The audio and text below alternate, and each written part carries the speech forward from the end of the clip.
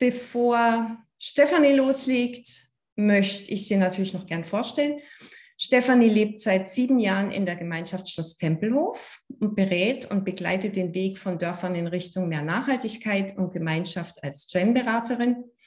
In Gen Deutschland e.V. ist sie als Lenkungskreismitglied verantwortlich für die Vorstandstätigkeit und sie hat außerdem in verschiedenen nationalen und internationalen Projekten mitgearbeitet, zum Beispiel am Bau des ersten Earthships in Deutschland am Schloss Tempelhof, dem ETIA, also Öko Village Transition in Action, Gen International Project, dem Leben in zukunftsfähigen Dörfern und Lernorte für Morgen. Stefanie gibt uns jetzt einen Einblick, was die Gen ist, stellt uns das Lebenskonzept Ökodorf vor und erzählt uns natürlich, was es mit den Lernorten auf sich hat. Und bevor ich jetzt an Stefanie übergebe, möchte ich euch noch sagen, dass ihr schon während der Präsentation Fragen in den Chat schreiben könnt, die euch im Anschluss in der Fragerunde natürlich beantwortet werden. Und ich hoffe, wir können auch alle beantworten. So, jetzt gebe ich, übergebe ich das Wort an Stefanie. Bitte. Ja, hallo und vielen Dank, Karin, für die nette Einführung. Sehr gerne. Ähm, ich bin ganz glücklich, dass ich heute Abend da sein kann. Ähm, wir kennen uns jetzt ein paar Monate über auch unsere Konferenz und die ganzen Kooperationen, die jetzt im alternativen Bereich so stattfinden. Und ich bin super glücklich, dass irgendwie gerade so eine Tendenz wahrnehmbar ist, dass alles mehr zusammenrutscht. Auch wenn wir das physisch gerade nicht können, aber so wenigstens ideell. Und ähm, ja, umso mehr ist es einfach gut, wenn immer mehr Initiativen wie unsere jetzt zum Beispiel vorgestellt werden, dass die Leute drankommen. Und es ist eigentlich auch gerade ganz schnell möglich, ohne dass man überall hinfahren muss. Eigentlich kann man auch das Gute darin sehen, dass wir jetzt gerade nicht beieinander hocken können, sozusagen. Ähm, ja, ich wurde gerade vorgestellt. Ähm, ich, wie gesagt, ich wohne in Schloss Tempelhof. Das ist eine relativ große Gemeinschaft im Süden von Deutschland. Ähm, ich war hier äh, lange Zeit ähm, im Presse- und Öffentlichkeitsbereich tätig und ähm, habe hier so verschiedene andere kleine Aufgaben, die ich mir gestellt habe, aber mein Hauptfokus geht auf Gen. Das ist das Global Eco Village Network und das ist das ähm, in Deutschland das Netzwerk der Gemeinschaften, der Ökodörfer, was ein Äquivalent ist. Und spreche heute hier auch für das Unterprojekt Lernorte für morgen was dem UBA-Projekt Leben in zukunftsfähigen Dörfern angegliedert ist. Alles ein bisschen kompliziert. Aber ich mache es jetzt ganz einfach. Und ich wollte heute Abend irgendwie mal anfangen mit Jen, bevor ich dann ähm, genau auf Lernorte eingehe und auf eure Fragen. Ich glaube, wir machen es so, dass ihr nachher die Fragen stellt. Ähm, Wenn es ganz furchtbar dringend ist, dann ähm, kriegt die Karin das, glaube ich, mit, weil die, die checkt nämlich die ähm, Funktion, die Chat-Funktion, wo ihr reinschreiben könnt und dann ja. könnt ihr mich auch unterbrechen. Ähm, genau, ich lege jetzt einfach mal los. Jetzt muss ich gucken, ob ich das hier, jetzt kann ich hier, das ist ja klar. Doch, genau, es geht. Ich bin mh, mm, vor fast zehn Jahren an Ökodörfer gestolpert, weil ich gemerkt habe, es gibt so vieles auf der Welt, das zu bewegen ist und was mich so interessiert. Und ich habe mich äh, wiedergefunden in einem, in einem Vorort von Karlsruhe mit drei Kindern, einem Job, ähm, habe gerade einen großen Verein gegründet, ähm, war dabei, eine solidarische Landwirtschaft zu gründen und irgendwie, aus irgendeinem Grund hat es mir immer noch nicht gereicht. Ich habe so viele bunte Farben, wie ihr auf der Folie vielleicht seht. Ich weiß nicht, sieht man sie? Kriege ich mal ganz kurz an. Alles gut. Ja. Ähm, habe ich gedacht, irgendwie muss ich mich noch mehr reingeben. Und so bin ich aus der IT-Branche, wo ich im Marketing und Vertrieb war, tatsächlich ausgestiegen ähm, und hab, bin umgezogen mit meinen drei Kindern und Mann ähm, in ein Ökodorf und habe mich praktisch voll ins Leben geschmissen in dieser Welt voller Lösungen. Ähm, die habe ich dann auch gefunden und dann fing das gleich an mit diesem Earthship. Aber bevor ich da reingehe, wollte ich euch mal erzählen, was eigentlich ein Ökodorf ist. Vielleicht wissen es einige schon. Ähm, ein Ökodorf ist eigentlich ein intendiertes, eine intendierte Gemeinschaft. Das heißt, Menschen kommen zusammen, um beabsichtigt, in Gemeinschaft zu leben. Das kommt von dem griechischen Wort Oikos und Oikos heißt wie Haushalt oder He Heimathaus ähm, und hat jetzt nicht unbedingt nur was mit Ökologie zu tun, sondern kommt eher aus diesem heimeligen Familiennest-Kontext.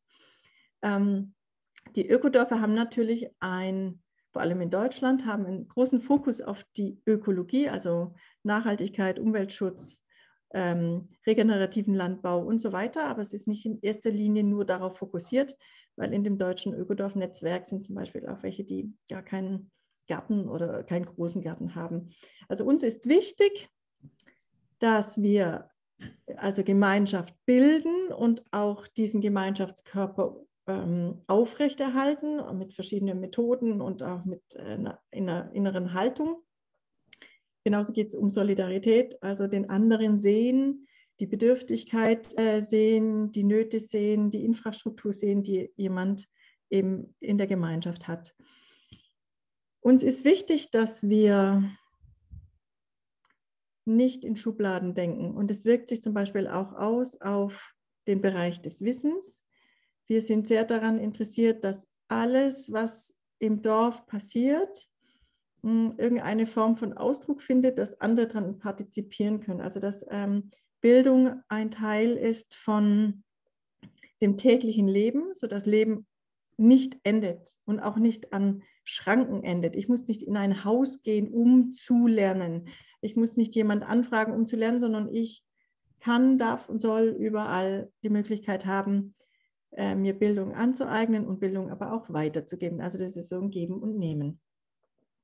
Natürlich achten wir, und das ist auch manifest in, in den Satzungen ähm, der einzelnen Ökodörfer und auch in Gen Deutschland, das der Dachverband der Ökodörfer ist, ähm, dass wir eine nicht nur nachhaltige, sondern enkeltaugliche Lebensweise haben. Und der Unterschied ist da, dass in meiner Ansicht, dass Nachhaltigkeit oft so ein funktionaler Ausdruck ist, also ein, eine Terminologie viel aus der Wissenschaft und aus der Industrie, ähm, das auf verschiedenen Säulen beruht. Daher kommt es ja, ähm, ähm, sondern es geht mir neben diesem Funktionalen auch enkeltauglich. Das heißt, ähm, was hat denn die folgende Generation wirklich für Bedürfnisse, die hinter diesen Säulen stecken? Also was, was ist das, hm, nicht das konsumistische, ähm, progressive, sondern das menschliche und psychologische da dahinter? Was es braucht für eine Zukunft, in der wir hoffentlich noch viele Generationen leben können. Dazu gehört auch, und da sieht man jetzt zum Beispiel ein Bild hier aus Sieben Linden, dass wir auf eine Art und Weise uns in die Natur einfügen, hm, die natürliche, natürliche Gesetze achtet und uns als Menschen in unserem Lebenskreislauf, in unserem Lebensrat ähm, betrachtet. Und dann geht es viel um wie ist die Ausrichtung von meinem Haus, wie groß äh, darf mein Haus sein, mit wem lebe ich zusammen, ähm, gibt es da Dynamiken drin, was muss ich verändern, welche Materialien umgeben mich? Und so weiter. Also da geht es um, ähm, auch viel ums Bauen, aber auch für wen bauen wir, also die, ähm, die Bewohner, also generationsübergreifend, ähm, gender betrachtend und auch wenn viele deutsche Ökodörfer sehr weiß weiß sind, sozusagen, ähm, ist es eigentlich kein, ist es eigentlich kein Kriterium, sondern ähm, eher so, wir suchen Menschen, ähm, die, die das praktisch äh, beleben. Ähm, was ganz wichtig ist, ist in unseren Ökodörfern ist sowas wie gewaltfreie Kommunikation, aber auch äh, wie wir Entscheidungen treffen. Und das hat ähm, bei den aller, allermeisten vor allem in Deutschland ist es bei uns sozusagen vorgegeben, ist, dass wir eine basisdemokratische Entscheidungsstruktur haben. Sprich, wir stimmen im Konsens ab und ähm, haben dafür verschiedene Verfahren. Hintergrund dafür ist das All-Leader-Prinzip. All-Leader heißt, dass alle führen können. Das heißt, alle tragen zur Entscheidung bei. Das geht vorwärts wie rückwärts. Also ich kann eine Entscheidung mittragen, indem ich entscheide. Ich muss nämlich dann aber auch die Konsequenz dazu äh, darüber ähm, mir klar sein und die auch mittragen. Und bei uns ist es tatsächlich so, dass in den Ökodörfern eigentlich nur die Mitglieder äh, die großen Dinge entscheiden dürfen, weil die Konsequenzen auch von denen getragen werden müssen. Ich glaube, jetzt habe ich ähm, alle, alle Punkte mal aufgezählt, die so das deutsche Ökodorf-Netzwerk ähm, erfüllen muss. Wir sind eingebettet in die Gen-Familie, die viel größer ist. Ähm, ich habe jetzt nur mal die Karte von Gen Europe genommen. Ähm, das ist der Dachverband der europäischen Ökodörfer oder Gemeinschaften. Und da gibt es, ich glaube, die letzten Zahlen, die ich gekriegt habe, waren es über 200, die eben diese Anforderungen erfüllen. Und äh, wir sitzen in etwa 26 Ländern und äh, eigentlich ist ganz Europa da drin verteilt. Und die sind ganz unterschiedlich und ähm, haben auch äh, überwiegend unsere Statuten, ähm, haben aber darüber hinaus noch einen europäischen Auftrag, ähm, mehr in der EU äh, präsent zu sein und da auch in Verwaltung und Politik ähm, zu agieren. So, und wie das aussieht, und ich habe heute einfach gedacht, ich zeige mal ein paar Bilder. Es gibt nämlich nicht das Ökodorf, wo man denkt, die Häuschen sehen alle gleich aus und die Menschen auch, sondern ich würde sagen, also ich kenne ich alle und ich kenne auch viele, die gar nicht in unserem Netzwerk sind, aber die haben ganz individuelle ähm, Besonderheiten und äh, Lebensgut Kurkstedt zum Beispiel in Thüringen ist eine relativ kleine Gemeinschaft und die hat unglaublich viel Auswirkungen in der Region. Die machen ganz, ganz, ganz viel ähm, über Baumpflanzungen. Die haben eine eigene Saatgut, Datenbank. Ähm, die haben Baum, äh, Bäume züchten die, ähm, Obstbäume vor allem und bringen die unter die Menschen in einem total schönen Konzept. Bei denen dreht sich alles ums Draußensein, äh, Anbauen, Pflanzen und über Pflanzungen praktisch auch sozusagen eine neue Erde kreieren. Dann Tempelhof, das ist der, ähm, die Gemeinschaft, aus der ich komme, ist im Süden von Deutschland und wir sind 100 Erwachsene und 50 Kinder. Und wir zeichnen uns, glaube ich, aus durch eine Vielzahl an sehr dynamischen sehr ähm, verschränkten und übergreifenden Projekten. Ähm, neulich sagte jemand, ihr seid der Tempohof, weil wir so viel Dynamik drin haben. Und manchmal denke ich auch, ich komme gar nicht mehr mit, ähm, mit dem, was wir alles anschieben, wo unsere Energie reingeht und was wir aber auch entscheiden müssen. So. Aber es ist sehr dynamisch, zum Beispiel freie Schule, solidarische Landwirtschaft, eigenes Bildungshaus, ähm, ganz viel politische Arbeit und so weiter. Dann der Lebensgarten Steierberg macht ganz viel Gemeinschaftsbildung und hat sich einen Namen gemacht als eine der ältesten ähm, Gemeinschaften über äh, Gartenbau, ähm, Dot-Experimente und Permakultur.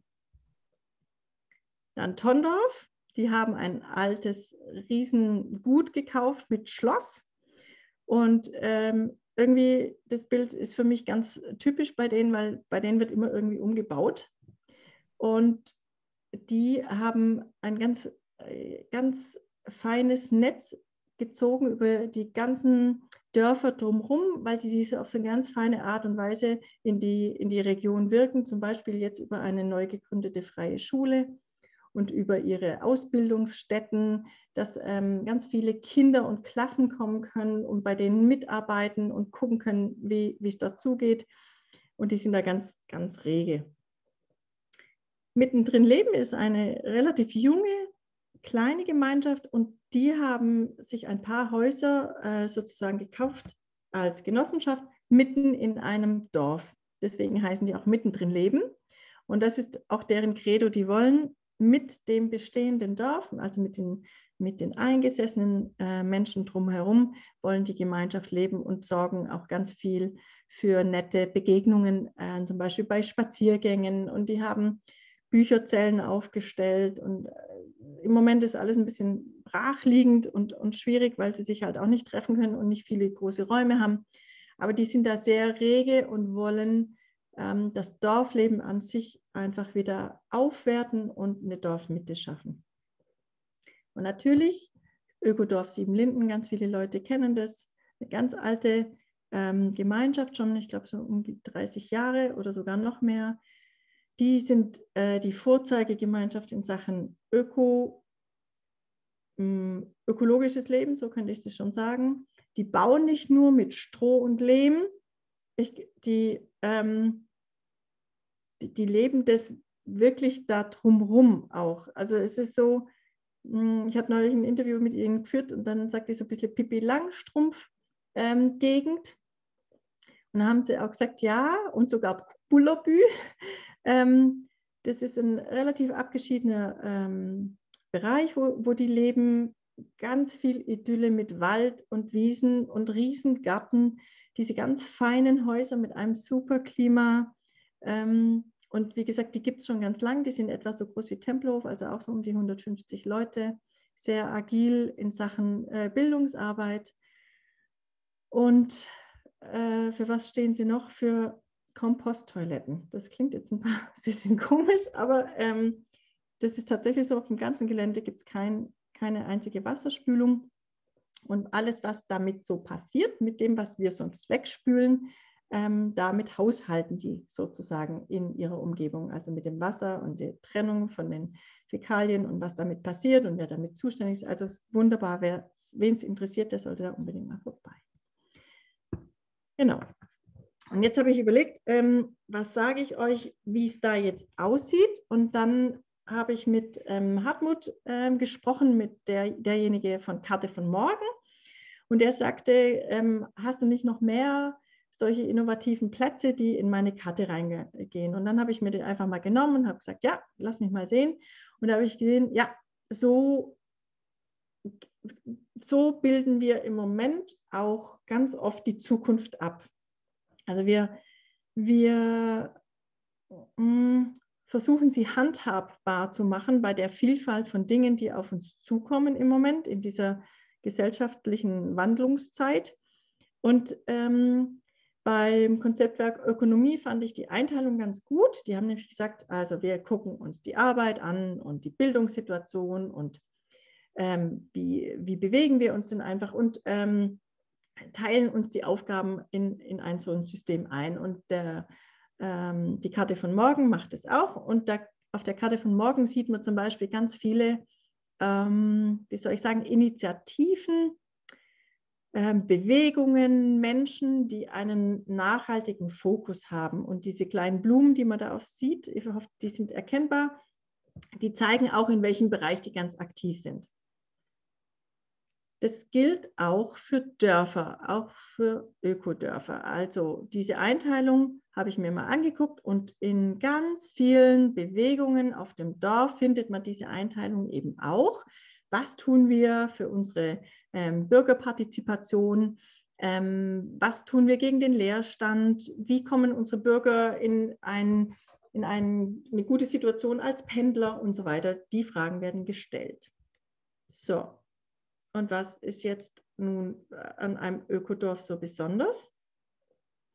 Und irgendwie denke ich manchmal gar nicht so ganz viel. Und doch ist es eklatant ganz anders, weil, wie ich am Anfang schon gesagt habe, geht es um intendierte Gemeinschaften. Das heißt, wir sind nicht an einem Ort, wo man sich aus Versehen kennt, oder man sich zufällig über den Weg läuft, sondern wir haben uns gefunden, indem wir uns sozusagen entwurzelt haben aus dem Bereich, wo wir waren, um gemeinsam etwas zu schaffen. Und das macht einen großen Unterschied, weil wir uns den, also innerlich darauf eingestellt haben, dass wir jetzt etwas Neues, anderes schaffen wollen. Und ich bitte darum, nicht zu sagen auszusteigen, sondern ich sage oft umsteigen, äh, weil ich mich ganz bewusst aus dem Nukleus Kleinfamilie und ähm, Einfamilienhaus sozusagen lösen wollte in, einen, in ein Experiment eines anderen Weges, in, in eine andere Art von Denkweise. Und ich sage das deswegen gerade so ein bisschen stockend, weil also ich habe mir da auch richtig schwer getan. Ähm, ich habe über ein Jahr gebraucht, bis ich mich aus diesen Strukturen lösen konnte, weil ich ziemlich Angst gehabt habe von diesem, von diesem, über diesen Absprung aus meinem ähm, sehr strukturierten und sehr überlegten und doch sehr gekannten Umfeld und äh, meinem Lebensstil, der mir praktisch auch mitgegeben wurde. Ich habe mich also auf die gleiche Art und Weise bewegt, wie ich das gelernt hatte. Und da bin ich raus in eine Gemeinschaft, die die ganze Welt in sich birgt und trotzdem anders tickt. Wir haben, ich habe euch hier jetzt ähm, das Mandala, ähm, also unsere Karte der Regeneration, so heißt die ganz offiziell, finde ich immer ein bisschen blöd, ähm, die, unser Mandala mal mitgebracht. Und das sind die fünf Dimensionen, die eben nicht Säulen sind, sondern eigentlich so wie eine Brille, auf die wir, mit der wir auf Dinge gucken, die wir machen.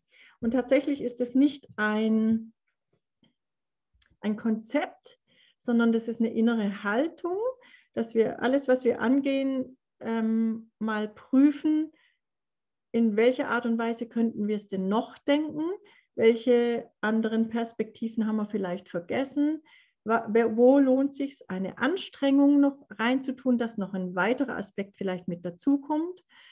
Und ähm, deswegen ist es tatsächlich wie ähm, so eine innere Karte, so eine innere, eine innere Schablone, mit der ich handeln kann. Da gibt es ganz viele Fragen, die dazugehören zu diesen einzelnen Bereichen, damit man, glaube ich, ein bisschen wach bleibt. Ich nehme das ganz gern als Tool, um Workshops zu gestalten, ähm, Projekte zu beurteilen, ähm, zum Beispiel in Dörfern Nachhaltigkeitsstatus ähm, quo zu evaluieren und so weiter. Im Wesentlichen sind es die fünf Dimensionen Soziales, Ökonomie, Ökologie, Kultur und die Ganzheitlichkeit. Es geht um sozialen Zusammenhalt und die Integration von Vielfalt in wirklich im, in, in jedem Tag, in jeder Aktion. Wir haben ganz, es geht ganz viel um Kultur, Ökologie in Lebens- und Bauweisen, um Gerechtigkeit und Solidarität und der Blick auf das Ganze. So, jetzt kommt eine komische, eine komische Folie, Beispiel eines Ökodorfs. Und dann habe ich jetzt mal diese Kriterien, die wir gerade im anderen Dorf gehabt haben, habe ich mal genommen und die hier draufgelegt und dachte, wie fülle ich denn das für ein Ökodorf? Und was rauskam ist, und das ist, lasst euch nicht erschlagen, ich will nur einfach zeigen, wie, wie vernetzt es ist, ist diese Folie. Ähm, die kommt aus meiner Promotion zu soziotechnischen Innovationen aus der Nische. Und ich habe einfach mal geforscht, was, wie füllen wir denn ähm, diese großen Begriffe, um die Zukunft zu strukturieren? Weil ich gemerkt habe, dass, um das es nämlich bei uns gar nicht so geht, dass ich so säulenhaft denke. Meine nächste Folie wäre die, aber die zeige ich euch gleich, warum das so ist. Ich habe einfach mm, ich könnte jetzt mal vorlesen, was ich davon meine, wenn ich sage, wir wohnen gemeinsam. Wir haben einzelne Häuser, wir sind in einen Bestand gezogen am Tempelhof. Das heißt, die Häuser waren da und wir mussten gucken, mit was wir hier zurechtkommen. Wir haben uns committed zum Beispiel auf 20 Quadratmeter pro erwachsene Person. Die Kinder haben 10 und äh, mussten den bestehenden Wohnraum sozusagen aufteilen in das, wie wir leben wollen. Das ist schon mal ähm, ungefähr, so ganz grob, ungefähr die Hälfte von dem, was ein Bundesdurchschnittsbürgerin so hat an Wohnraum. Warum wir das machen, hat einen Grund, wir haben nicht mehr. Das wäre der offensichtlichste Grund. Der zweite Grund ist, wir wollen eigentlich auch nicht mehr, weil wir uns reduzieren wollen aufs Wesentliche. Und das Wesentliche ist nicht, dass wir schöner wohnen, sondern dass wir ähm, im Einklang sind mit uns und so wenig wie möglich Energie verbrauchen und eigentlich so eine Haltung haben wie, äh, ich brauche nicht viel Materielles um mich herum, um, um in diesem Leben äh, glücklich und verbunden zu sein. So. Das ist auch ein Beispiel, wie wir ähm, dann damit umgehen, wenn es darum geht, dass jemand sich verändern will. Also Kinder ziehen aus, ähm, Paare trennen sich, Paare kriegen Kinder und brauchen mehr Raum, wie auch immer. Und wir machen das in Eigenverwaltung. Und es geht dann nicht so, dass wir Dinge ausschreiben, sondern es gibt ähm, Listen und da steht drin, welcher Raum wie zur Verfügung ist. Und als Beispiel, was das für uns dann heißt, ist so, ähm, wir gehen in ein Plenum, in ein Sozialplenum, das haben wir einmal die Woche und da geht es nur um Themen, die persönlich sind. Und dort sagen die entsprechenden Leute dann, was sie zum Beispiel, wie sie sich verändern wollen, was sie, was sie brauchen, ähm, wie sie sich zukünftig vorstellen. Und das äh, sagt sich so lapidar. Und den letzten großen Stur Ansturm, den wir da hatten, war vor etwa zweieinhalb Jahren. Wir nennen das Wohnraumkarussell. Und da kamen abends drei Menschen in das Sozialplenum, hatten sich äh, so abgesprochen, haben gesagt, sie möchten sich verändern und sie wissen aber nicht, wie es geht. Und wir haben dann nicht gesagt, okay, welcher Wohnraum gibt es, ähm, sondern was dann entstanden ist, und das ist eben Gemeinschaft, ist zuhören, welche Bedürftigkeit, welche Sorgen und Ängste da sind. Und ähm, das kann sein, ich habe mich von meinem Partner getrennt oder ich halte es einfach nicht mehr aus mit meinem jugendlichen Sohn. Oder nach 20 Jahren Ehe brauche ich mal ein eigenes Zimmer oder was auch immer. Das heißt, es sind sehr persönliche Gründe, die da besprochen werden. Ähm, dafür braucht es viel Vertrauen, dafür braucht es auch viel Hörraum ohne Bewertung und auch nicht sofort eine Lösung. Aber warum ich das erzähle, war, das End vom Lied war, dass wir nach dem Abend 23 Menschen hatten, die sich auch verändern wollten. Und dann ging es los. Wir haben über zweieinhalb Monate haben wir dann ähm, geredet und gerungen und WGs aufgelöst und umgelöst und Familien hin und her, bis dann alle 23 von 100 sich neu gefunden hatten. Und das ist jetzt einfach nur ein Bereich, wie wir ähm, ganzheitlich auf die Dinge gucken. Es ging dann auch ganz viel über ähm, Wohnraum anders gestalten, neu denken. Da ging es auch plötzlich darum, dass die Jugendlichen einen anderen Raum brauchen, den hatten wir aber nicht. Dann haben sie gesagt, dann kreieren wir uns den selber. Dann haben sie sich selber einen Teil der Scheune ausgebaut. Damit entstand dann wieder eine, wie so eine kleine Ausbildungsreihe bei den Jugendlichen in Sachen Handwerk. Sie mussten sich selber organisieren. Sie haben die Handwerker mit einbezogen und die Maschinen kennengelernt und so weiter. Was auch damit einhergeht, ist zum Beispiel, wir haben eine gemeinsame Rechnung bei Strom und bei Heizung. Das heißt, entweder ich kann mich jetzt zurücklehnen und sagen, pff, dann ist ja wohl alles egal, aber es ist überhaupt nicht egal, wenn uns alles und allen gehört, wenn am Ende des Jahres die Heizungs- und die Stromrechnung höher ist.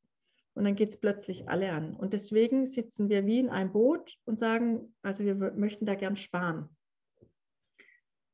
Ähm, was natürlich auch einhergeht, ist, dass so ein Raum mh, schon auch viel abverlangt. Wir sitzen da manchmal zu 65. oder auch zu 70. oder zu 50.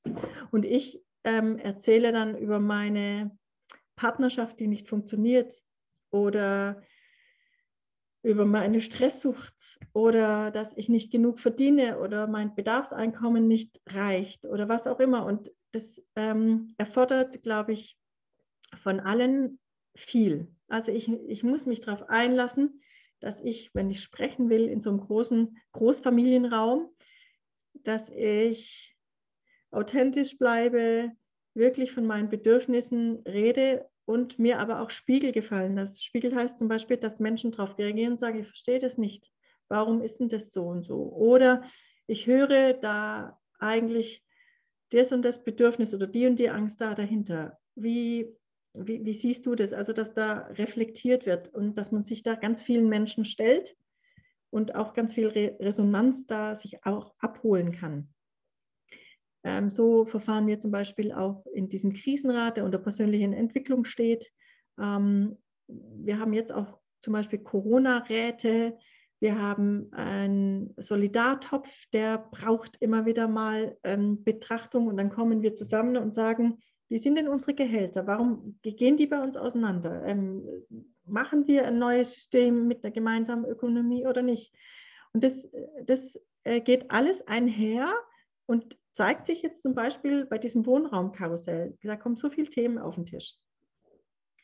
Und so könnte ich jetzt durch ganz viele Bereiche durchgehen. Und deswegen war meine, meine Folie mal, die muss ich, muss ich auch jetzt nicht weiter kommentieren, aber die zeigte mal, was mit was zusammenhängt und welche Themen wo aufkamen. Und da da wird der Unterschied deutlich zu einem normalen Dorf, dass wir sozusagen nichts mehr voneinander trennen können. In einem normalen Dorf mache ich die Tür zu und ähm, was der Gemeinderat beschließt, das kriege ich am Rande schon auch mit, wenn der mal eine neue Straße baut und ich äh, jetzt nichts mache. Aber bei uns geht es einfach irgendwie gar nicht. Bei uns wird vorher noch diskutiert, welche Handwerker dabei sind und wie das bezahlt wird und aus unserem Topf und aus der Stiftung oder aus dem Verein. Und also wir kommen um unsere Pflichten, die wir für dieses Dorf haben, nicht drumherum wenn wir unsere Rechte auch haben wollen.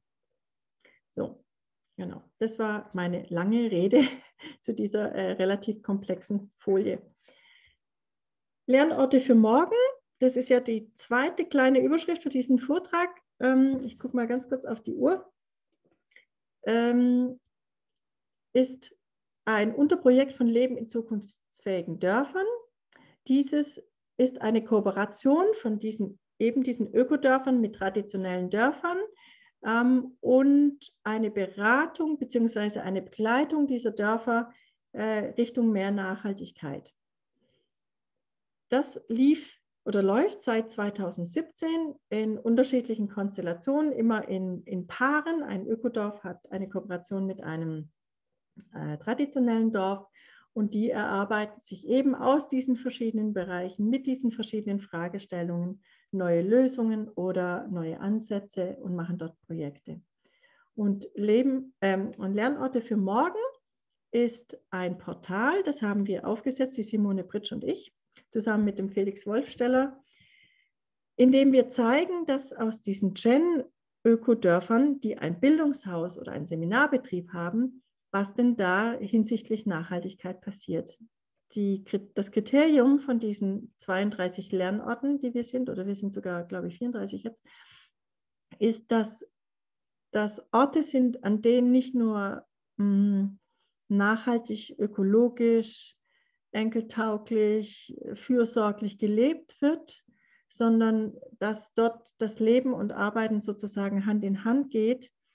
Und die Menschen, die sich dort bilden oder die etwas Neues entdecken wollen, nicht in einer künstlichen Blase ähm, sind, in, einem, in Form von einem Seminarhaus, wo halt Referenten und Menschen zusammenkommen und dann wieder auseinandergehen, sondern das ist ein gelebter Experimentierraum, sage ich jetzt mal. Und diese, diese Plattform soll dies zeigen. Die zeigt zum einen, ähm, welche Orte das sind, in Deutschland und es werden immer mehr. Wir haben die Plattform jetzt vor etwa einem Jahr aufgesetzt und durch die Corona-Zeit ist uns ziemlich viel einfach ist nicht passiert, weil gar nicht Veranstaltungen stattfinden konnten und äh, die Projekte zum Teil einfach gar nicht richtig weitergingen. Ähm, aber was ihr dort seht, ist eine Karte mit den Lernorten und ähm, die Themenfelder, in denen wir praktisch die Angebote aus diesem ganzen Spektrum ähm, ähm, geclustert haben. Was ihr dort auch findet, ist äh, eine, ein Pool an Referentinnen, die dort leben und dort Kurse geben und für verschiedene Fragen eben aus diesem ganzen Katalog zur Verfügung stehen. Ganz wichtig ist der Veranstaltungskalender. Der ist natürlich selektierbar nach ähm, Ort und Zeit, was es alles gibt ähm, und wer dafür verantwortlich ist und was, es, äh, was man dort einfach für sich neu erleben kann. Wir haben natürlich auch äh, Bedingungen und ähm, die, äh, habe ich ja gerade schon erwähnt, heißen, dass das ein nachhaltiger Ort ist, in dem gemeinschaftlich gearbeitet wird und es geht um Leben und Lernen gleichzeitig und nicht Theorie statt Praxis. Ähm, und ähm, das sind, wie gesagt, Lebens- und Lernorte in einem. Und wir wollen da das Wissen aus diesen Orten praktisch erfahrbar machen. Und deswegen laden wir da auch immer wieder dazu ein. So, jetzt wäre ich eigentlich an dem Punkt, wo ich sage, hm, der Vortrag wäre zu Ende. Ich hätte noch ganz viel zu Jen zu sagen, aber ich glaube, ich würde jetzt mal ähm, zur Kat, Katrin rüber äh, gucken und. Vielen Dank, liebe Stefanie. Erstmal, ja, wir haben jetzt schon die ersten Fragen. Ähm, ist also wirklich ein spannendes Feld, vor allem für Leute, die da ganz neu auf dem Gebiet sind, die sich vielleicht gerade am Anfang ihrer Transformation befinden oder eben in, mit der Idee, sie möchten ihr Leben anders gestalten, nachhaltiger gestalten.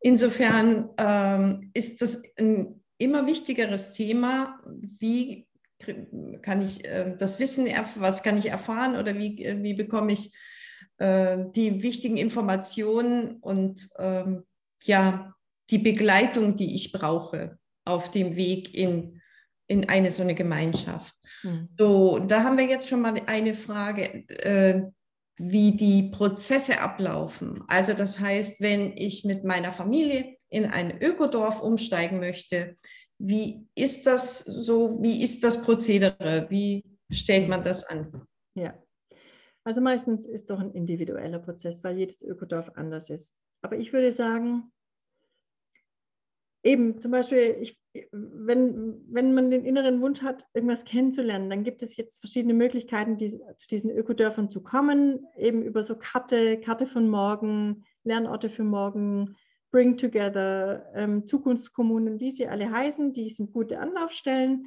um einfach mal zu sortieren, was es denn gibt.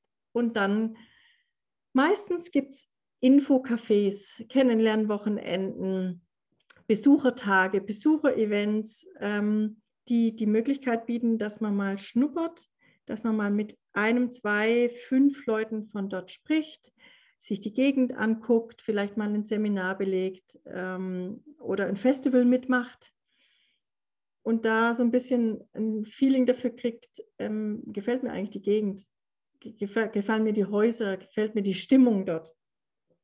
Und da ist zum Beispiel Lernorte für morgen so, so eine Möglichkeit zu sagen, mich interessiert ähm, irgendwie, mich interessieren Bienen, äh, wird es irgendwo angeboten und wo kann ich denn da anknüpfen? Also es gibt themenspezifische, aber auch ganz individuelle und offene Formate, wo man einfach hin kann. Und dann wird es sehr individuell. Ich kann jetzt die meisten Gemeinschaften oder Ökodörfer haben so einen Annäherungsprozess, der sich über mehrere Monate bis zu einem Jahr zieht, indem er ähm, teilnimmt einfach an Aktionen und seien es äh, Schulaktionen oder Ernteaktionen, mit Menschen spricht, sich einbringt. Ich glaube, um das geht es. Und äh, wir haben es ein bisschen formalisierter. Bei uns muss man sogar zwei, drei Kurse besuchen, damit man ähm, die ganze Struktur und wie wir ticken und was es bei uns braucht und wie man bei uns lebt und wie viel Geld man braucht und so kennenlernt. Ähm, und aber auch die Arbeitsweise, wie wir miteinander arbeiten und auch feiern, also die Lebensweise noch. Ähm, ich würde sagen, es gibt viele Anknüpfpunkte und es gibt viele individuelle Wege da rein. Ich glaube, man muss sich einfach nur aufmachen. Aber denkst du nicht, es ist vielleicht einfacher, wenn jetzt eine Familie oder auch eine einzelne Person sich entscheidet, sie schließt sich so einem, einem Ökodorf an und äh, wird da mehr oder weniger langsam herangeführt. Aber wie ist denn das, wenn jetzt eine Gemeinschaft sich zusammenfindet und sagt, wir möchten das auch in die Richtung, wie fangen die an? Glaubst du, dass sowas überhaupt ohne eine Anleitung oder Begleitung funktionieren kann? Wie siehst du das? Wie ist das aus deiner Sicht? Also ich glaube schon. Vielleicht nicht in Gänze. Also was ich auf keinen Fall nicht machen würde, ist eine Beratung holen oder mit Menschen sprechen, die das schon getan haben und sich bestehende Projekte angucken, weil es ganz viele unterschiedliche Möglichkeiten gibt, so eine äh, Gemeinschaft zu gestalten. Mhm. was einem äh, klar werden muss, es ist nicht die Romantik und nicht das äh, idyllische Leben auf dem Land, sondern es ist hm. so ähm, sehr bewusst, sehr viel Bewusstheit über das, was man selber will und was die Gruppe ausmacht, wo man gemein, also welches ist der gemeinsame Kern, den wir hat, bevor man da loszieht und irgendwas sucht oder kauft. Ich kann mich an den Earship-Prozess ähm, erinnern. Ganz viele Leute kamen aus überall, aus ganz Europa und haben gesagt, wir wollen auch so ein Earship bauen. Und dann kamen sie zu zehn, zu zwölf. Und ich weiß nicht, wie viele ähm, Abende ich mit denen zusammensaß und habe gesagt, ja, schön und gut, ähm, ähm, ihr seid Gemeinschaft und ihr wollt was bauen. Was macht euch aus und ähm, wie kriegt ihr das Geld und die ganze Orga hin für diesen Bau? Und an diesen zwei, drei Fragen haben wir äh, nächtelang diskutiert, weil das ihnen gar nicht klar war. Weil das heißt tatsächlich, ich nehme mich auch raus aus dem Gewohnten und gehe in etwas rein, was Gemeinschaftskörper heißt. Und es gibt Gemeinschaftsberatung und es gibt andere Gemeinschaften, die man durchaus fragen kann. Und ich würde das sehr empfehlen, weil es ist ein holistischer Prozess, also ein ganzheitlicher Prozess. Mhm. Ich, es reicht nicht, wenn ich nur einen Verein gründe oder ein Haus kaufe. Es hängen ganz viele Sachen noch mit dran. Ja. Mhm. Und klar, Bring Together zum Beispiel. Allein wenn man auf die Webseite guckt, sieht man ja, wie viele unterschiedliche Aspekte da wichtig sind und mit denen ich mich eigentlich neu auseinandersetzen muss, wenn ich aus dem Kontext komme, wie ähm, ich habe bisher eigentlich nur in, meinem, in meiner Familienstruktur oder für mich selber gedacht und jetzt soll ich das für viele machen mit vielen neuen Fragen hinten dran. Ähm, ich glaube, es geht auf jeden Fall nicht hoppla hopp. Und ähm, es ist viel die, Frage, viel die ehrliche Frage, was will ich denn eigentlich? Und wir hm. stellen sie uns oft zu wenig, glaube ich. Ja. Ich würde gerne mal in die Runde fragen, wer denn eine konkrete Frage hat. Der darf sich gerne melden. Oder traut sich niemand zu fragen? Habe ich zu schnell und zu viel geredet? das kann natürlich sein. Hat niemand eine Frage? Nein. Gut. Hm. Dann frage ich einfach weiter. Mhm. Ah, doch, da war irgendwo eine Hand. Moment. Ja, die, die Tina. Genau, die war mir. Mich würde interessieren, ob die ähm, Ökodörfer Dörfer wachsen, also ob die an sich größer werden oder ob mehr neue Ökodörfer oder, oder andere äh, Lebensformen gegründet werden. Und ob es äh, viel Austausch zwischen den Ökodörfern gibt, wenn man, dass man irgendwie sagt, jetzt habe ich zehn Jahre hier gelebt, jetzt möchte ich mal äh, das Nachbardorf probieren, wie, wie das da so funktioniert. Oder mhm. ob viele auch weggehen, so wieder so die ähm, Bewegung und, und Wachstum in den Ökodörfern ist. Kannst du dazu mhm. was sagen? Ja. Mhm. Also es gibt ganz viel Bewegung und zwar im Moment wieder ganz viel in Richtung Wachstum der einzelnen Ökodörfer.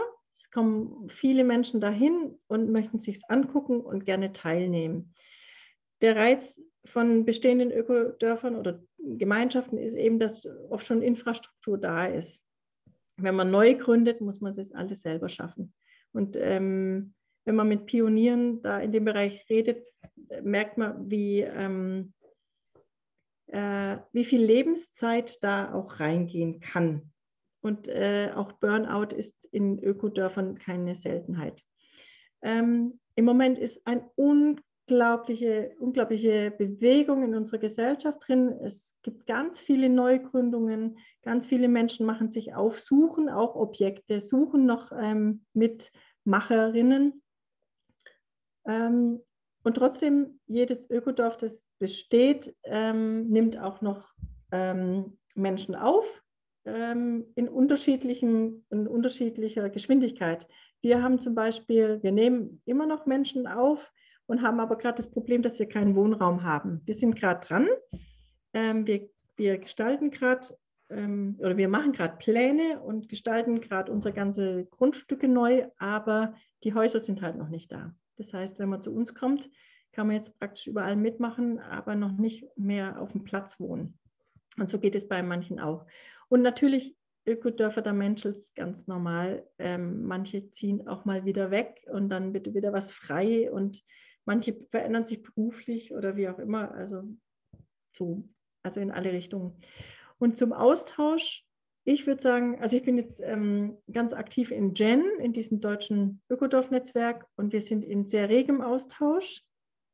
Und jetzt geht gerade gedanklich eine Klammer auf bei mir, seit neuestem gerade nicht so arg. Und da ähm, kommt mein persönlicher Schmerzgrad, dass Corona uns gerade so viel unterbindet, weil diese ganze Szene lebt natürlich vom Menschsein und sich treffen.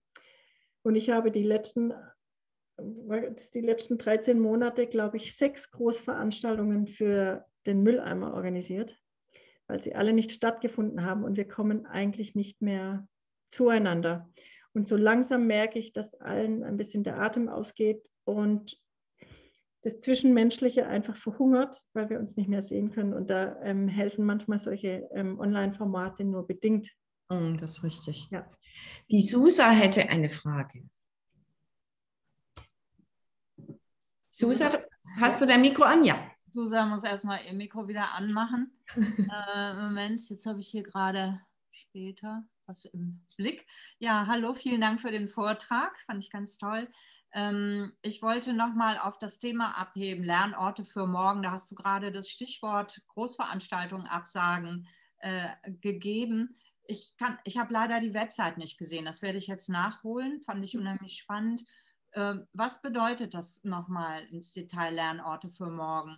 Mhm. Ist das, lern, lernt ihr, das ist ja ein gefördertes Projekt, über die Orte oder geht man äh, als ähm, Besucher in die Orte, lernt dort oder alles zusammen? Also was genau ist das nochmal? Mhm. Also das ist eine Plattform, die zeigt, wo es solche ähm, äh, Experimentierorte gibt oder Dörfer des Wandels oder ähm, Ökodörfer oder Gemeinschaften. Ähm, das ist die Plattform, wo Seminare gezeigt werden oder Workshops oder Veranstaltungsformate, die eben dies berücksichtigen, dass wir ähm, zukunftsgerichtet sind. Ähm, dort sind nicht nur Gen-Gemeinschaften, sondern alle, naja, alle, die Orte, die wir halt kennen und an die, die wir herangetreten sind, die diese Kriterien erfüllen, dass dort gelebt wird und gelernt. Also, dass wir nicht äh, diese isolierten, wie ich vorhin gesagt habe, isolierten Seminarhäuser haben, wo, wo man Kurs bucht, da geht man hin, da geht, hat man eine Hotellerie dabei und ein Catering und dann geht man wieder weg. Sondern wenn man dorthin geht, dann tritt man praktisch ein in so einen Gemeinschafts- und Zukunftskörper, sage ich mal, ähm, in dem dann zu bestimmten Themen geworkshopt wird oder gefeiert wird oder gelernt wird. Deswegen sind es die Lern- und Lebensorte, müsste es eigentlich ganz echt heißen. Also da ist jetzt, sind die Ökodörfer dabei, aber auch zum Beispiel Radusch oder nirgendwo in Berlin oder die, Spree-Akademie oder ähm, ähm, ja, solche, solche Inseln, die jetzt ähm, Bildungsarbeit in ihrem Lebensort machen. Das heißt, es ist ja auch jetzt ein wenig eingeschränkt, ne? Die, ja. diese ganzen, weil das eben auch alles sehr von Mensch zu, äh, zu Mensch stattfindet ja. und dort eine, ein gelebtes Zeigen und Lernen ist. Ja, als wir die Lernplattform äh, kreiert haben, haben wir gedacht, oh, wie kriegen wir denn die hunderte von Veranstaltungen abgebildet? Und als wir soweit waren, das war im Mai letzten Jahres, war ja alles abgesagt. Und deswegen ist auch der, der Veranstaltungskalender gerade so relativ dünn. Aber das ist, weil alles abgesagt werden muss im Moment. Mhm, mh. Ich hätte jetzt, wenn jetzt keiner anderer im Moment eine Frage hat, dann würde ich noch mal eine Frage stellen, mhm. nämlich was die größten Herausforderungen einer Gruppe auf dem Weg in eine Gemeinschaft ist. Also wenn so eine Gruppe gerade so frisch zusammenkommt, was, was ist aus deiner Sicht die größte Herausforderung? Ist es die, die, die sagen wir mal, zu überlegen, welche äh, Organisationsform nehme ich oder äh, was sind die größten Knackpunkte? Also was, hm, größten Knackpunkte?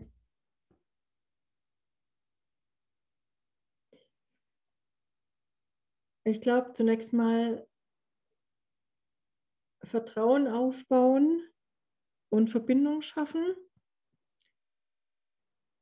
und sich einlassen auf einen Prozess von persönlichem Wachstum.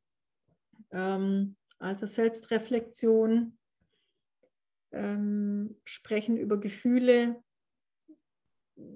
äh, sich hinterfragen. Ich glaube, das ist ein wesentlicher Punkt. Ich glaube, das ist wahrscheinlich dies, das, was womit sich die meisten Menschen am schwersten tun, nämlich ja. ihre eigenen Gefühle gewahr zu werden. Also sprich auch darüber dann noch zu sprechen, ist ja schon eine Steigerung, mehr oder weniger. Ja. Ich merke halt immer, dass sehr viele gar nicht wissen, was ihre eigenen Bedürfnisse überhaupt sind. Mhm. So, und da geht es ja eigentlich schon mal los. Mhm. Ähm, sich das, dessen bewusst zu sein, was will ich überhaupt, was ist gut für mich, was tut mir gut und dann eben darüber auch noch zu sprechen, ich glaube, das dürfte so ziemlich das Schwierigste für manche Menschen sein.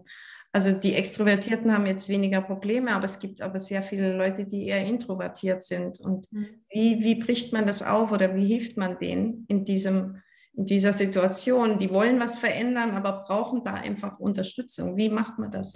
Ja, äh, ich würde auch nicht nur sagen, dass es ähm, darum geht zu artikulieren, was ich will, sondern warum ich es eigentlich will. Mhm. Also ich kann schnell sagen, ähm, ich möchte eine Vier-Zimmer-Wohnung, weil, äh, weil wir zu dritt sind. Das ist, ja? Das ja, klar, das ist ganz pragmatisch. Aber, aber wenn es das nicht gibt und ich kann nur auf zwei Zimmer ähm, wohnen, dass ich dann wirklich darüber nachdenke, ähm, warum brauche ich denn eigentlich mehr Platz? Was ist denn das wirkliche Bedürfnis dahinter? Und könnte ich auch mal das anders machen, als ich denke, dass ich es brauche? Hm. Und könnte ich es auch mal mit jemand anders machen, als ich eigentlich denke, dass ich es sonst üblicherweise machen würde? Also das meine ich mit ähm, nicht in das Gelernte, was ich sonst üblicherweise mache, sondern raustrete und mal andere Blicke auf mich zulassen und die aber auch mal integriere. Also dass sich in mir was anderes öffnet, als ich bisher kenne. In unserer freien Schule, die wir am Platz haben, geht es eigentlich nicht um Bildungswissen, sondern ähm, also Faktenwissen, sagen wir es mal, oder Sachwissen, sondern es geht um mm,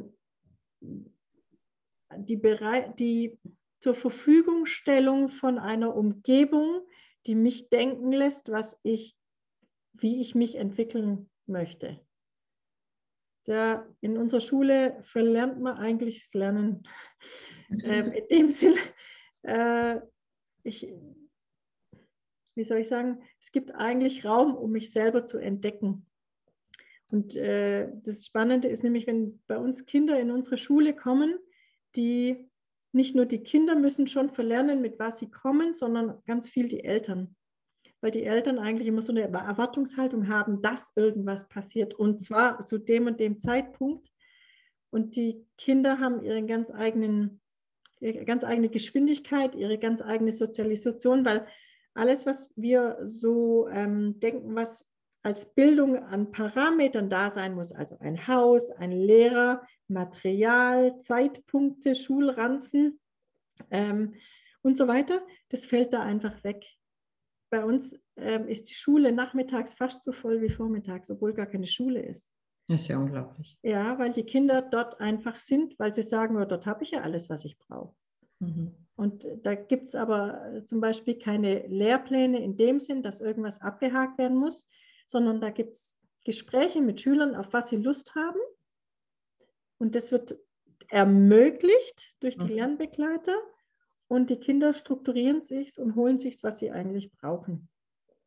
Und dann, wenn man dieses Mandala, das ich vorher gezeigt habe, denkt, kommen ja ganz andere Dinge rein. Die sagen nicht, ich mache jetzt Bio und lerne, wie sich die Pflanze entwickelt, sondern die gucken mal und pflanzen und sagen, hä, die ersten Blätter sehen ganz anders aus, also die Primärblätter sehen ganz anders aus als die nächsten. Und warum sehen die alle so ähnlich aus? Und dann kommen sie von dem zu dem zu dem und müssen sich dann irgendwie, wie meine Tochter, die kam gestern und hat gesagt, sie legt sich jetzt ein Beet an, weil sie verstehen will, wo unser Gemüse herkommt. Jetzt will sie es irgendwie selber machen. Und ähm, lernt da aber jetzt zum Beispiel Bagger fahren, weil die müssen das mit dem Bagger anlegen. Und jetzt kam ein Freund rein, der hat bei uns jetzt Fliesen gelegt mit meiner Tochter und jetzt hat sie zutrauen, dass sie mit ihm jetzt Bagger fährt. Also so, so kleinst vernetzt. Also ich, ich hoffe, ich konnte jetzt ein Beispiel bringen, ähm, wie das so gehen kann, dass es nicht heißt, wir, wir gucken uns jetzt die Pflanze an, sondern ja, wo kommt denn eigentlich unser Gemüse her? Und äh, meine Tochter sagt, und jetzt braucht sie noch einen, ähm, einen, Folientunnel, weil das machen die ja in der Groß, äh, in, der, in der Gärtnerei auch. Und so kommt die jetzt langsam dahin. Und das ist nur ein Beispiel. Also da geht es nicht um Bio und Mathe, sondern um, ich möchte was erreichen und was brauche ich denn dafür?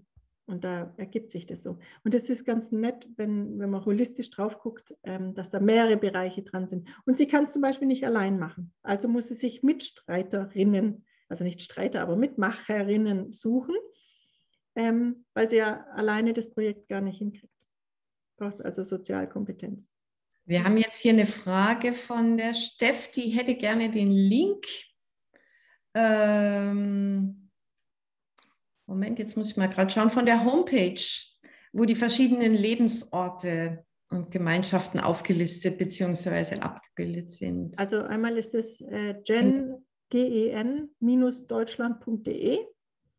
gen-deutschland.de. Das hätte ich noch vorbereiten können. Und das andere ja. sind die Lernorte für morgen. Wenn ihr Lernorte für morgen eingebt in eurer Suchmaschine, ja. dann, findet, dann, dann findet man das eigentlich. Genau.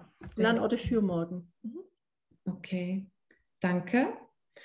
Ähm, ich habe noch eine Frage zu diesen äh, Organisationsformen, weil ähm, da gibt es ja nun unterschiedlich basisdemokratisch, äh, soziokratisch, mhm. äh, Holography und was weiß ich auch immer. Für jemanden, der da auch neu einsteigt, ist das wahrscheinlich erstmal so pff, ein Buch mit sieben Siegeln. Ja. Könntest du da noch ein bisschen was dazu sagen? Ähm, ja. Nach welchen Kriterien wird was ausgewählt? Was, was ist für welche Gruppe geeignet? Hast du da irgendwie eine Richtung oder? Hm. Hm. Fange ich jetzt an? Also die, die häufigste Form, wie wir in den Ökodörfern äh, verfahren bei Entscheidungsprozessen, ist meistens die basisdemokratische Entscheidung und die setzt sich meistens aus mehreren Stufen zusammen. Da macht es jeder ein bisschen anders. Wir haben jetzt zum Beispiel sechsstufiges Verfahren. Wenn wir jetzt zum Beispiel abstimmen, hm, äh, der Bau einer neuen Gewerbehalle kostet 900.000 Euro. Ähm, und da gibt es viele Prozesse vorher. Also wir, wir, das ist jetzt die Abkürzung so. Ähm, stimmen wir dem zu. Und dann hat jeder eine Stimme in diesem ganzen Prozess, egal ob du jetzt Projektleiter bist oder gar, eigentlich gar nichts damit zu tun hast. Wir tragen das nämlich gemeinsam. Und äh, die sechs Stufen sind ja, ich habe leichte Bedenken, ich enthalte mich, ich habe schwere Bedenken, ich stehe beiseite und ich habe ein Veto. So. Und ich kann, das wird abgefragt, und zwar machen wir das so, wir machen erst ein Meinungsbild und da werden eigentlich alle gehört, es sei denn, sie wollen nicht, aber Veto beiseite stehen und schwere Bedenken werden auf jeden Fall gehört. Mhm. Und du kannst dich auch nicht, du kannst nicht sagen, ich habe äh, ein Veto und dann nichts sagen. Ähm, du sitzt da mit 50 Leuten und die wollen eine, einen, eine Begründung hören. Das kann auch sein, dass ich sage, für mich stimmt da irgendwas nicht mit Preis oder das Team oder der Standort oder was auch immer aber du kannst dich nicht verstecken, weil ähm, wir tragen das nachher ja auch gemeinsam. Also das ist so das Wesentliche. Natürlich machen wir auch manchmal äh, Widerstandsabfragen, wenn es heißt, ähm, ähm, wir wollen nur noch äh, oder wir wollen fünf Wochen im Jahr keine Gäste am Platz haben, weil wir mal Ruhepausen, gibt es da Widerstand oder nicht? Und es geht halt über diese ähm, Handzeichen. Und ja, wir haben auch soziokratische Strukturen. Ähm, und Soziokratie heißt es im Wesentlichen abgekürzt, ist es so, dass man nach, also Menschen können gewählt werden aufgrund ihres Seins, wie sie am besten zu der zu erfüllenden Position passen. Also da ist eine, eine Stelle ähm, frei und, oder zu besetzen und Menschen würdigen andere Menschen, weil sie sie dort sehen. Das ist ein sehr ähm, wertschätzender Aspekt in diesem ganzen Wahlprozedere, dass ich sage, ich schlage den Armin vor, ähm, der hat für mich die und die Qualitäten, die passen auf den und den Job. Und, ähm, und so wird, wird ganz viel transparent, was Menschen über andere Menschen wertschätzend denken. Mhm. Das ist ein ganz, ganz schöner Prozess. Mhm. Die Linda hat eine Frage. Ah ja, jetzt wollte ich es gerade schreiben, aber dann frage ich so.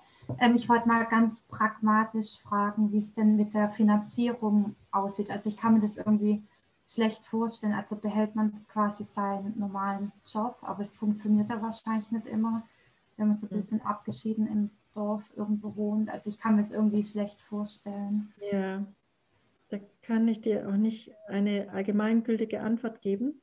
Mhm. Also was ich sehe bei den meisten, ist es, in den meisten Gemeinschaften ist es ein vollkommener Mix von dem, was, was da ist. Also wir haben etwa ein Drittel unserer Arbeitenden arbeiten nur für die Gemeinschaft, ein Drittel arbeiten für die Gemeinschaft und irgendwo für irgendwas. Also entweder gehen sie noch woanders hin oder sie sind freiberuflich und ein Drittel arbeitet nur für oder woanders. So ungefähr. So ist bei uns. Das ist in anderen Gemeinschaften anders. Aber meistens gibt es einen Mix. Also das ist so mal, wo die Leute arbeiten und, ähm, und vom Verdienst ist und wie man mit Geld umgeht, ist auch tatsächlich unterschiedlich. Es gibt Gemeinschaften, die haben eine gemeinsame Ökonomie, die werfen alles, was Einkommen ist, zusammen in einen Topf und leben daraus. Kannst du dir ungefähr vorstellen, was da für Prozesse dabei sind? Wenn ich mal mir ein teures Mountainbike kaufen will oder ja.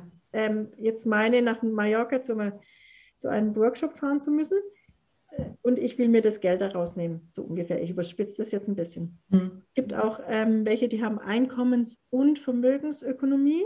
Das heißt, alles, was du auch besitzt, gehört allen gemeinsam. Da potenziert sich das ähm, alles noch ein bisschen, äh, was da so an Prozessen läuft. Wir haben das nicht. Bei uns ist alles transparent.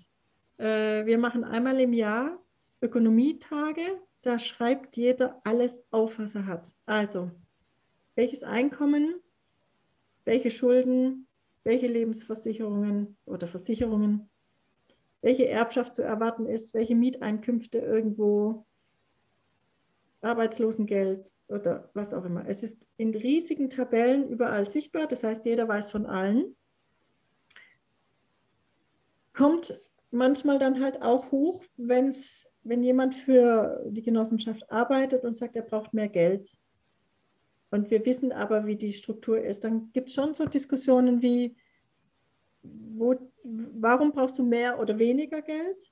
Hm, wie ist deine Lebenssituation? Äh, wozu, wo laufen deine Kosten auf? Ähm, also nicht böse, sondern wissen wollend, glaube ich, ähm, ist es. Und klar, es gibt bei uns auch keine einheitlichen Gehälter. Also einer in der Küche äh, kriegt ein anderes Gehalt als einer, der bei uns in der Schule arbeitet. Und das ist äh, strukturbedingt. Ähm, unsere Schule wurde fast geschlossen einmal, weil einer unserer Lernbegleiter nicht genug verdienen wollte für das Regierungspräsidium wir mussten dem dann mehr zahlen, als er eigentlich wollte. So, also das gibt es auch. War nur ein kleines Beispiel. Aber ähm, mhm. es gibt eigentlich alle Formen und es ist aber ein Transparenzsystem. Sowohl ähm, Geld verdienen, wo Geld verdienen, wie viel man hier reingibt und so weiter.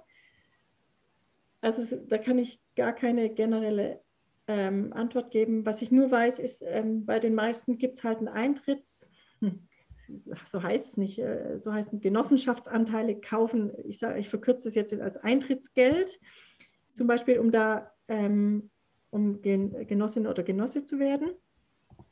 Und das ist in jeder Gemeinschaft anders.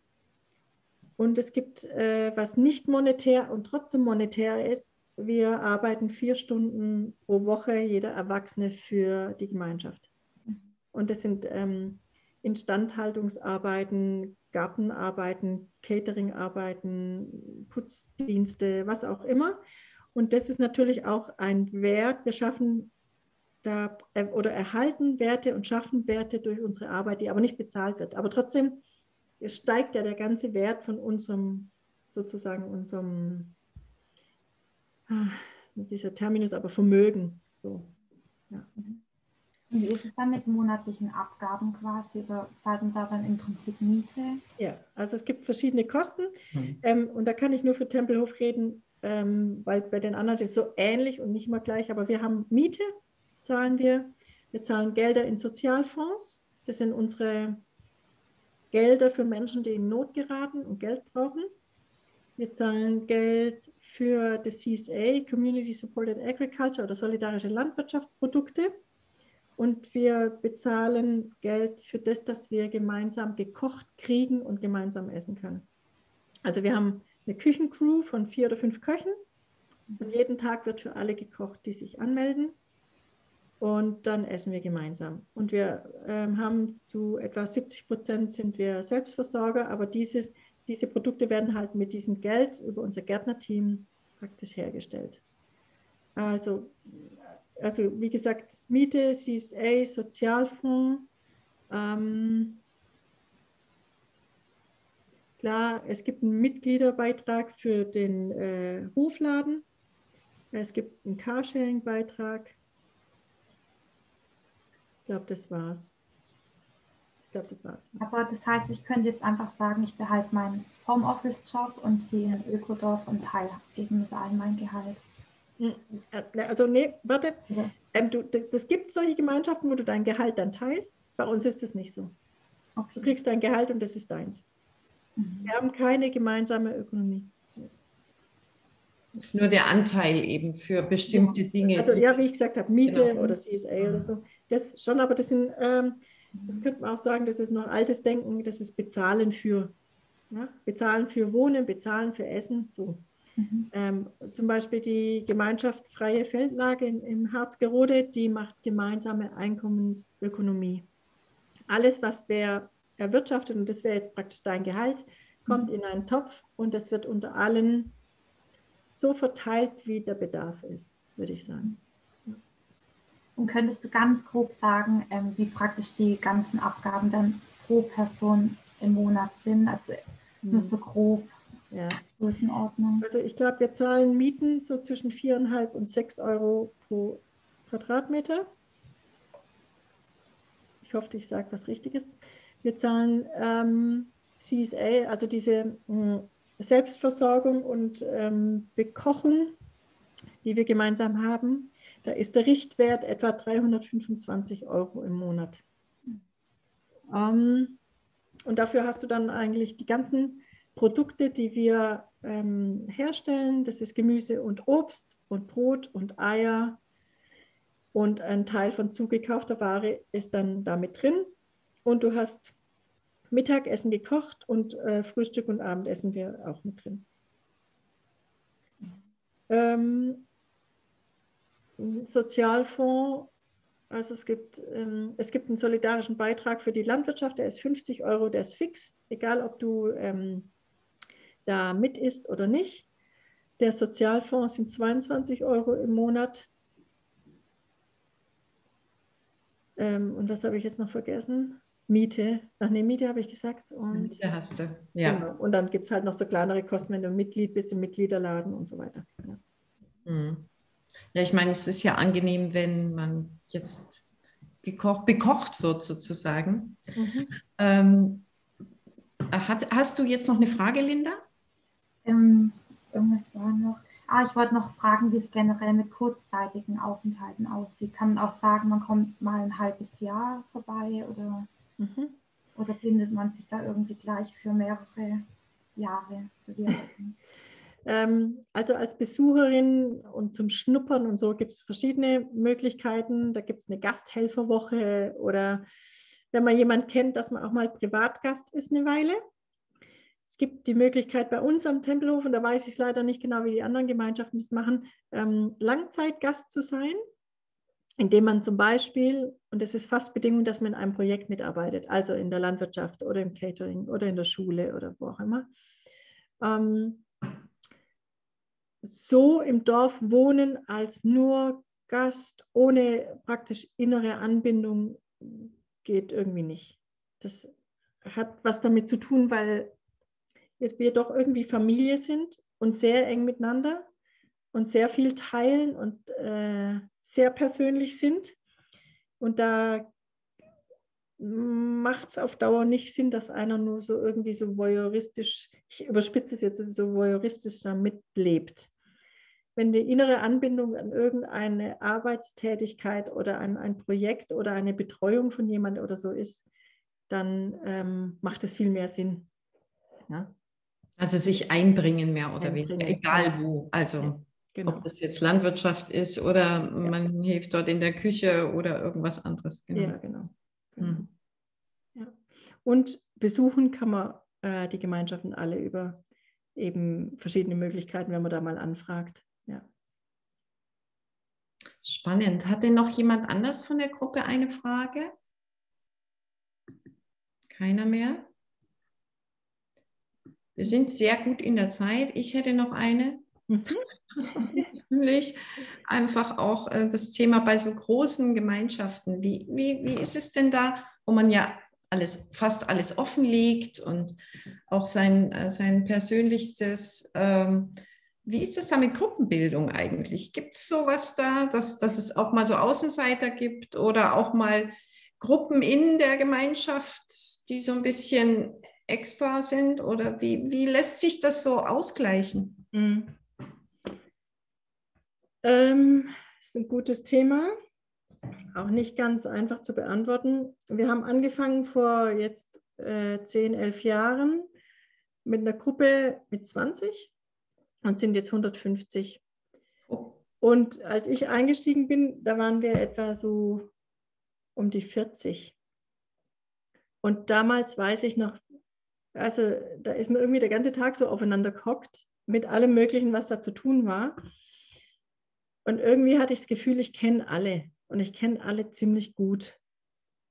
Und es war überhaupt kein Problem, äh, abends zusammenzusitzen am Feuer oder im Seminarraum oder in einem Dorfplenum, die zum Teil zwölf und mehr Stunden gingen. Also das muss man sich auch vorstellen. Okay. Also in solchen Entscheidungsgremien. Ähm, das wird immer schwieriger mit, je mehr Leute das werden, weil nicht mehr so viel Zeit ist, ähm, nicht mehr so viel Räume ist und auch es zum Teil schwieriger wird, einfach vor 70, 80 Leuten zu sprechen. Ja, das äh, muss man mit persönlichen Themen schon auch hinkriegen. Und ja, ich kann ähm, vom Herz her, äh, bin ich hier mit allen zu Hause und wenn ich hm, wenn ich es kann, dann suche ich mir meine Gruppen in kleineren Räumen, um zu sprechen. Mhm.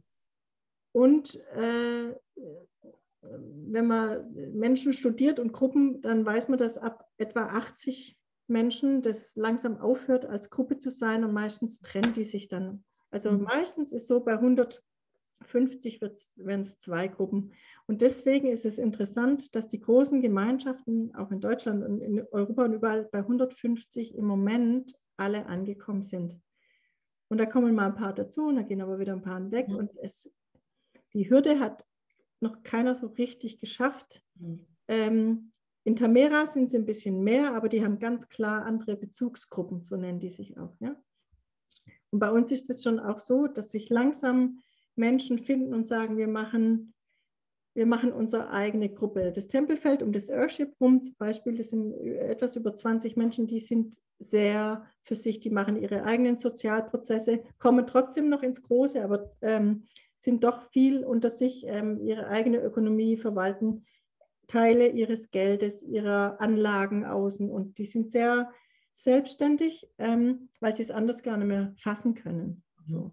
Mhm. Und ja. So. Susa hat auch noch eine Frage, damit wir noch im Zeitfenster sind. Mhm. Ich würde sagen, das dürfte eh bald die letzte Frage sein jetzt. Mhm. Eine ganz kurze Frage, auch eine technische nur. Äh, du hattest vorhin gesagt, dass es einen Verein gibt und eine Stiftung. Mhm. Da kann man bestimmt ganz viel drüber reden. Kannst du ganz kurz sagen, was, warum zwei äh, Formen, Rechtsformen? Ja, die Stiftung, der gehört das Land. Mhm. Die Genossenschaft pachtet alles, was drauf ist. Und ich Mhm. glaube, ehrlich gesagt, ich, ich bin da gar kein, ähm, ich bin da nicht so richtig involviert, aber das hat irgendwas auch äh, eben rechtliche Gründe und ich kann dir das gar nicht genau sagen. Der Verein macht bei uns alles, was kulturell ist und Schule Mhm. und ist irgendwie nochmal anders aufgestellt. Ich, da müsste ich jetzt selber mal mich schlau machen, was, ähm, was warum, wie ist. Es ist auf jeden Fall möglich, drei verschiedene Rechtsformen, um Ja. das Ganze so zu konstruieren. Genau. Und jetzt gründet sich gerade zum Beispiel noch eine Baugenossenschaft für weiteres Bauen, Mhm. auch woanders bauen, also solche. Ja, vielen Dank. Mhm. Ja, so hybride äh, Ja. Gemeinschaften, ne? so unterschiedliche Hm. Möglichkeiten. Ja. ja, klar.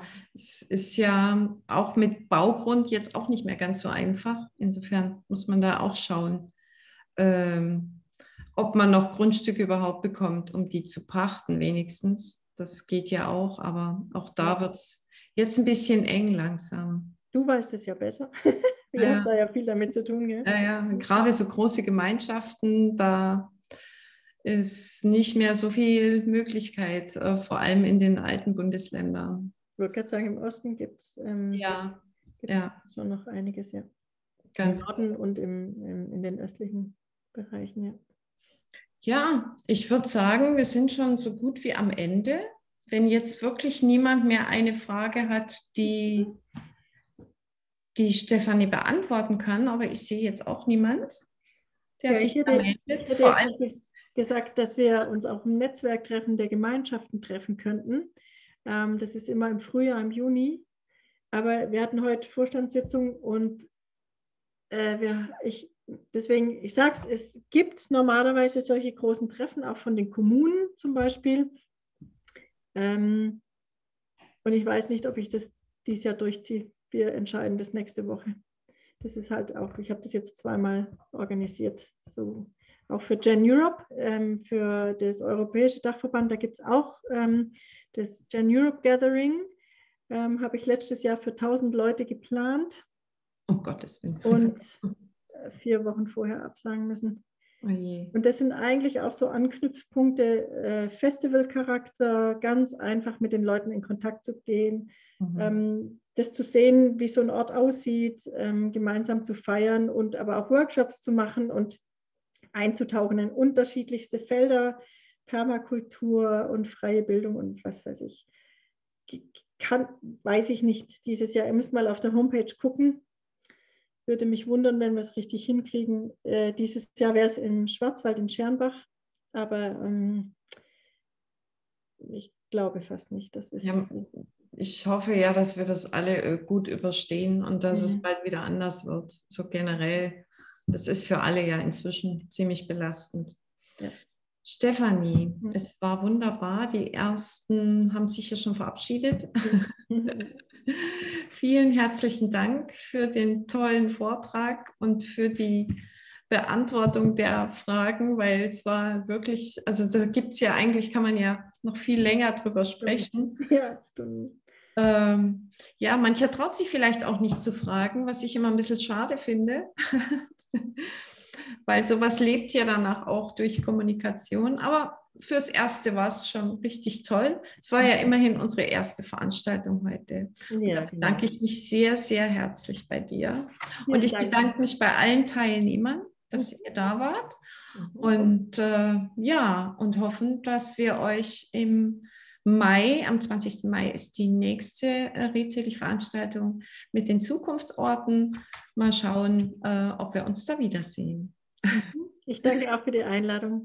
Ja, sehr gerne. Also ich wünsche einen wunderschönen Abend und wir sagen allen Tschüss. Tschüss. Tschüss. Dankeschön. Tschüss. Tschüss. Mhm. Danke, Karin. War sehr nett. Wir sprechen uns noch, liebe Stefanie. Bleibe ich dran? Ja? Okay. Nee, so. Ja, super. Genau. Können wir auch zumachen.